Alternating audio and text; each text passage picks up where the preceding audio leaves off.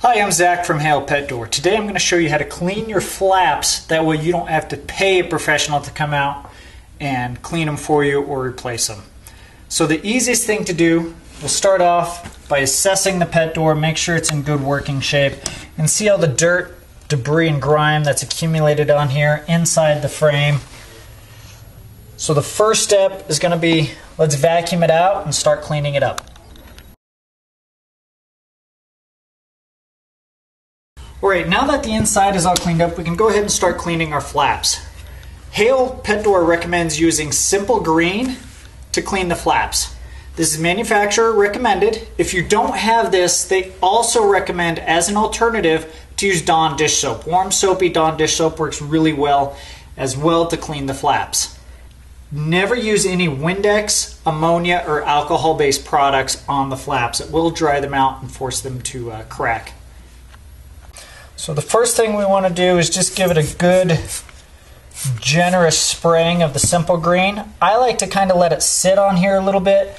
If you hold it up, it'll sit flat. If you lay it down, it tends to run. So make sure you have a drop cloth or something down that won't absorb that simple green into the carpet.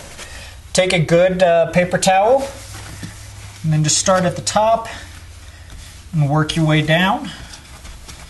You want to be careful not to pull on the pet door flap because that way it can pull the frame apart if you're not careful or if there's already a tear up at the top.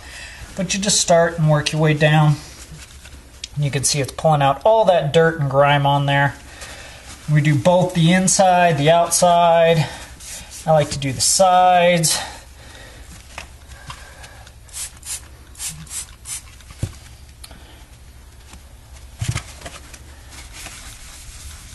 Sometimes you really got to scrub it on these older doors. And you go through a few paper towels getting these cleaned up. So sometimes you might need to apply more than one coat of the simple green to really get some of that caked on dirt off. Um, I like to sometimes take my gloves, rub it around, kind of if they're grippy, uh, you know, use that to, to get it off. Don't use anything abrasive more than the paper towel. So no Brillo pads, anything like that.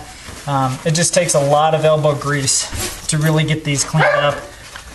And there's our happy customer right there. Okay, now that the inside is all clean, we'll head outside and do that. But before we get to that, you can kind of see there's that little hazy film on there. That's what you want. That's what the simple green leaves on there. That's a protected coat on that flap that does help repel some of that dirt and oil and other things that the dog tracks on there. Those nose prints, of course, too. Um, so that little haze on there, that's perfect. So that's all it took was about five minutes of and a little bit of elbow grease and simple green, and the flaps look brand new.